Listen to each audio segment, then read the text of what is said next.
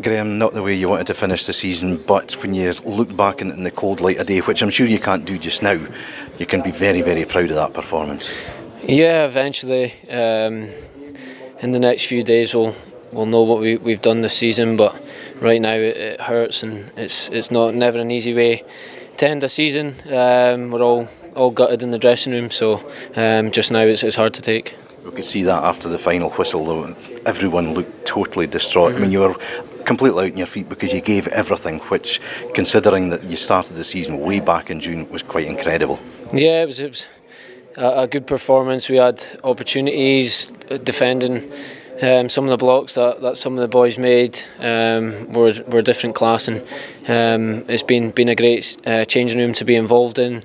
The boys have, have given absolutely everything. Um, it's always disappointing to, to see people go, and um, if you could keep the, the changing room together, you would. But that's football, and people move on.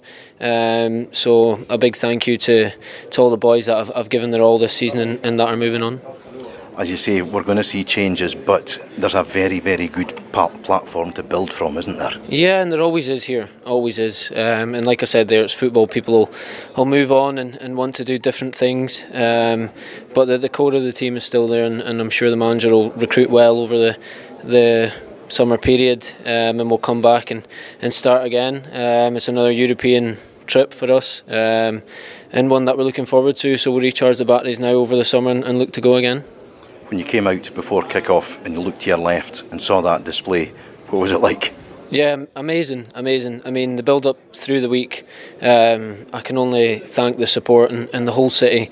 Um, some of the message, messages we've been getting, um, looking on Twitter and social medias, the whole city's been behind us. Um, and from me, on behalf of all the, the players and, and all the staff, we can only thank the, the city and the support for getting behind us. Well, you've made everyone extremely proud, Graeme well done today. Thank well you. done for the season and look forward to next season. Cheers.